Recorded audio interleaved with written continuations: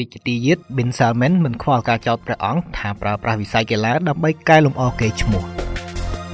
រាជទាយាទនៃប្រទេសអារ៉ាប់ប៊ីសាអូឌីតព្រះអង្គម្ចាស់ Mohammed bin Salman នៅថ្ងៃទី21ខែកញ្ញាបានមានប្រសាសន៍ថាព្រះអង្គមិនខ្វល់នឹងការចោទប្រកាន់ថាបានប្រើប្រាស់វិស័យកីឡាដើម្បីបិទបាំងការប្រព្រឹត្តខុសនិងការកែលម្អកេរ្តិ៍ឈ្មោះរបស់ព្រះអង្គឡើយ។ ព្រះអង្គម្ចាស់ Mohammed bin Salman ត្រូវបានរងការចោទប្រកាន់ថាបានវិនិយោគទៅលើវិស័យកីឡាដើម្បីប្រើប្រាស់ព្រឹត្តិការណ៍កីឡាល្បីៗលើពិភពលោកដើម្បីបិទបាំងការប្រព្រឹត្តខុសនិងដើម្បីបង្កើតកេរ្តិ៍ឈ្មោះនៅលើឆាកអន្តរជាតិរបស់ខ្លួនទោះយ៉ាងណាព្រះអង្គមិនខ្វល់នឹងការរិះគន់នេះឡើយប្រសិនបើការកែលម្អកេរ្តិ៍ឈ្មោះនេះបានធ្វើឲ្យ GDP ប្រទេសមួយនេះមានការកើនឡើងប្រទេសអារ៉ាប៊ីសាអូឌីតរងការរិះគន់យ៉ាងខ្លាំងចំពោះការរំលោភបំពានសិទ្ធិមនុស្សយ៉ាងធ្ងន់ធ្ងរ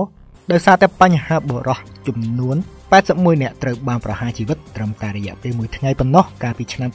2022ការរំលោភសិទ្ធិស្ត្រីសិទ្ធិអ្នកស្រឡាញ់ភេទដូចគ្នាការរដ្ឋបិទសិទ្ធិបញ្ចេញមតិនិងបញ្ហាសង្គ្រាមនៅក្នុងប្រទេសយេម៉ែនព្រះអង្គប៊ីនសាល់មែនក៏ជាប់ពាក់ព័ន្ធទៅលើបញ្ហាឲ្យសម្លាប់អ្នកសារព័ត៌មានជាមលកាសុកជីនៅកុងស៊ុលអារ៉ាប៊ីសាអូឌីតនាទីក្រុងអង្គស្តង់បុលប្រទេសទូគីកាលពីឆ្នាំ2018ដោយសារតែអ្នកកាសែតអារ៉ាប៊ីសាអូឌីតរូបនេះតែងតែរិះគន់ខ្លាំងលើរដ្ឋាភិបាលនៃប្រទេសអារ៉ាប៊ីសាអូឌីតជុំវិញករណីនេះរាជទាយាទនៃប្រទេសអារ៉ាប៊ីសាអូឌីតរងការរិះគន់យ៉ាងខ្លាំងពីអង្គការសិទ្ធិមនុស្សព្រះអង្គម្ចាស់ Bin Salman មានប្រសាសន៍ប្រាប់ទៅកាន់សារព័ត៌មាន Fox News បែបនេះប្រសិនបើការបិទបាំងការប្រព្រឹត្តខុសឬការកែលម្អកេរ្តិ៍ឈ្មោះនេះបានជួយបង្កើនកម្រិត GDP ប្រទេសរបស់ខ្ញុំ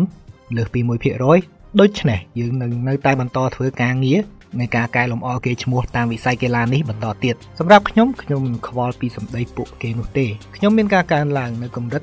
1%នៃកម្រិត GDP ពីព្រឹត្តិការណ៍កីឡាហើយខ្ញុំក៏នឹងកំពុងសម្លឹងទៅកាន់ជំហានថ្មីបន្ថែមទៀតគឺ1.5% គម្រោងវិនិយោគសាធារណៈនៃប្រទេសអារ៉ាប៊ីសាអូឌីត PIS បានចូលកាន់កាប់ក្លឹបមួយស្ថិតនៅក្នុងក្របខ័ណ្ឌ Premier League នៃក្របខ័ណ្ឌប្រទេសអង់គ្លេសគឺ Newcastle United កាលពីរដូវកាល2022-2023កន្លងទៅក៏ដូចជាបានដំណើរការព្រឹត្តិការណ៍វាកូនគោលនៃការប្រកួត LIV Golf ថែមទៀតផងកីឡាល្បីៗដែលមានដូចជាព្រឹត្តិការណ៍ប្រណាំងរថយន្ត Formula 1ការប្រណាំងម៉ូតូ GP ការប្រកួតវាយកូនបាល់តេនីស ការប្រកួតកីឡា WWE ជាពិសេសរឿងរ៉ាវដែលកំពុងមានភាពល្បីល្បាញខ្លាំងនាពេលចុងក្រោយមកនេះគឺវិស័យបាល់ទាត់ការប្រកួត Formula 1គឺជាការប្រណាំងរថយន្តដ៏ល្បីដែលបានចុះកិច្ចសន្យារយៈពេលវែងនៅក្នុងការរៀបចំការប្រកួតក្នុងប្រទេសអារ៉ាប៊ីសាអូឌីតក៏រងការរិះគន់ខ្លាំងផងដែរពីសំណាក់ក្រុមអ្នកខ្លំមើលសិទ្ធិមនុស្សក្លឹបក្នុងក្របខ័ណ្ឌសាអូឌីក្លឹបក្នុងក្របខ័ណ្ឌសាអូឌី Pro League ដែលរួមមានក្លឹបដូចជា Al Nassr,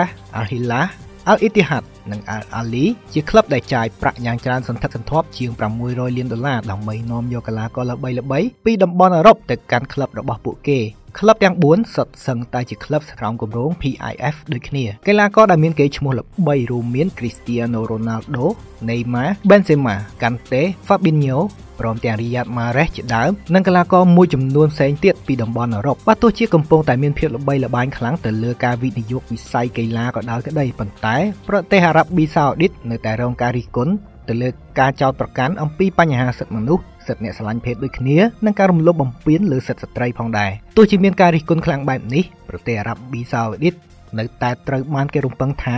នៅតែមានបំណងចង់ដេញថ្លៃធ្វើជាម្ចាស់ផ្ទះរៀបចំការប្រកួតព្រឹត្តិការណ៍ FIFA World Cup នៅក្នុងឆ្នាំ2030ឬ